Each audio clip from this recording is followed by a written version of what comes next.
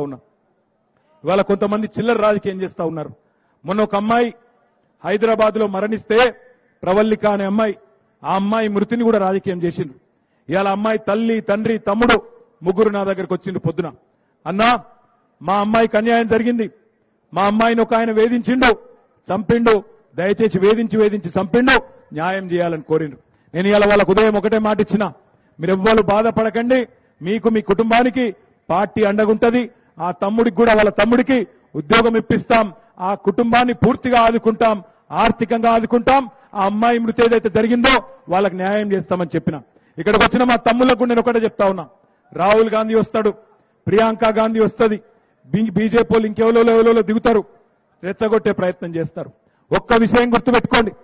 తొమ్మిదిన్నరేళ్ళలో రెండు లక్షల ఇరవై వేల ఉద్యోగాల భర్తీకి శ్రీకారం చుట్టింది కేసీఆర్ ప్రభుత్వం.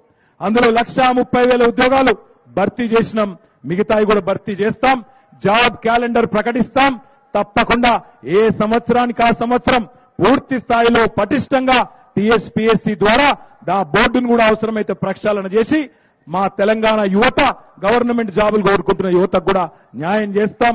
మా మీద విశ్వాసం ఉంచండి. తిరిగి మళ్ళొక్కసారి మీ ఆశీర్వాదం ఇవ్వండి అని చెప్పి పేరు పేరున మా తమ్ముళ్ళను చెల్లెలను కూడా కోరుతూ ఈ అవకాశం ఇచ్చినందుకు మీ అందరికీ కూడా ధన్యవాదాలు. జై తెలంగాణ!